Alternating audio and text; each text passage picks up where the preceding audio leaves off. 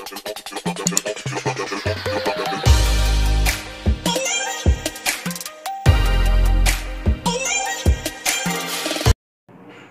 आपको बताता हूँ। जब आप इस पर क्लिक करोगे तो इस पर दो पॉइंट्स लिखे हुए देखिए बी ओरिजिनल और स्टिक टू रजिस्टर्ड कैटेगरी मैंने इन दोनों पॉइंट्स को ही फॉलो किया है।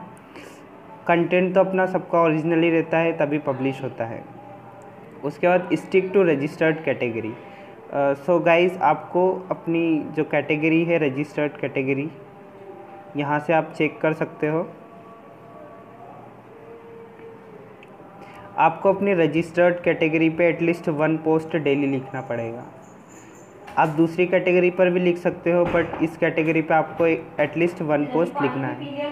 तो उसके बाद आपकी जो प्रोफेशनलिज्म है वो ऑटोमेटिकली इंक्रीज़ हो जाएगा। मैं भी ऐसे ही करता हूँ। उसके बाद नेक्स्ट देखते हैं क्वालिटी अगर क्वालिटी आपके टाइटल और जो कवर इमेज रहती है उस पर डिपेंड करता है.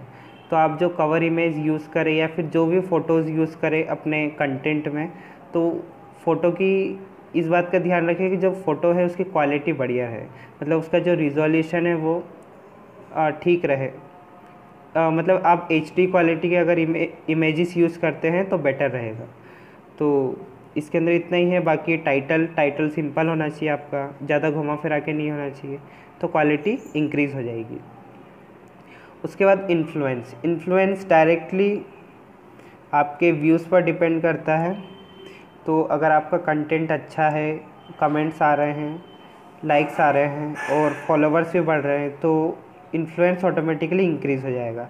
तो हॉट टॉपिक पर लिखे मतलब जो ट्रेंडिंग टॉपिक है, उस पर लिखोगे तो व्यूज़ आएँगे। मतलब जिसके बारे में लोग पढ़ना चाहते हैं, अगर आप उसी टॉपिक को लिखेंगे तो आपके व्यूज़ भी बढ़ेंगे इन्फ्लुएंस भी बढ़ेगा लाइक्स भी बढ़ेंगे कमेंट्स भी बढ़ेंगे। तो अगर जैसे आपके पोस्ट पर कमेंट आता है और दस एक में से आप मतलब जैसे आपकी पोस्ट पर कमेंट आए तो सबको लाइक कर दीजिए। लाइक करने के बाद दस दस एक में से किसी को रिप्लाई कर दीजिए। मतलब जैसे दस लोगों ने कमेंट करा है तो उसमें से एक दो को रिप्लाई कर दीजिए थैंक यू ये वो। तो उसके बाद जो आपका इंटरेक्टिवनेस है वो ऑटोमेटिकली इंक्रीज़ हो जाएगा। और ये जो एक्टिवनेस है इसकी तो बात आ, मतलब ये सभी का इंक्रीज़ रहता है। आ, ये डिपेंड करता है आप डेली चेक कर रहे हैं अपने व्यूज़ को। और अगर जैसे आपकी पोस्ट जिस दिन सस्पेंड हुई या अगर आप उसी दिन उसको रिपोस्ट कर देते हैं तो आपका जो एक्टिवनेस है वो ऑटोमेटिकली इंक्रीज़ हो जाएगा। और अगर ये सब इंक्रीज़ होता है तो ऑटोमेटिकली इंडेक्स पॉइंट इंक्रीज़ हो जाएगा। तो अभी आप देख सकते हैं मेरा एट्टी सिक्स पॉइंट थ्री है।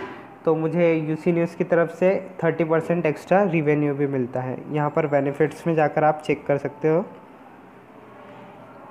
सेवेंटी से ऊपर रहता है तो ट्वेंटी परसेंट एक्स्ट्रा मिलता है।